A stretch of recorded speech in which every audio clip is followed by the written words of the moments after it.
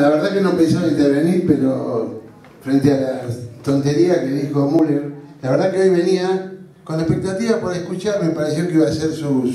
número, pero interesante, la cosa que me interesa, porque a mí no, descarto el humor como forma de la política y muchas de las cosas de él me, me resultan interesantes y, hasta me, me divierten. Pensé que se iba a dedicar especialmente a la saga de Rayo Salgado y Midisman con la que terminó. Pero no, se le dio por hacerse el teórico y de una manera ofensiva, una manera hablando, digamos, sobre militantes de los 70 que, decidieron que una de las formas de la lucha eran las armas, no la única. Me parece que dijo una cantidad de boludeces ofensivas, ofensivas de muchos compañeros,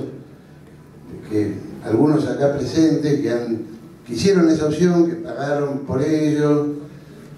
que muchos de los que hicieron esa opción son más de la mitad de los desaparecidos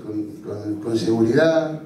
Este, entonces, no sé qué, lo menciona García Linera y el tonto ni siquiera debe saber que García Linera fue el jefe de un movimiento guerrillero eh, boliviano y que por eso estuvo largos años este, preso. Es decir, digo, es una discusión que en todo caso podemos hacer respetuosamente. Y esa cosa, pensé que se iba a referir cuando se refería a, los fusiles, podía ser los consoladores que esgrimieron las chicas que se fotografiaron con, con Nisman, pero traer un debate de época o una foto que podía tener un sentido eh, propagandístico hace 40 años, traerlo acá como parte de una polémica, la verdad que me parece deplorable.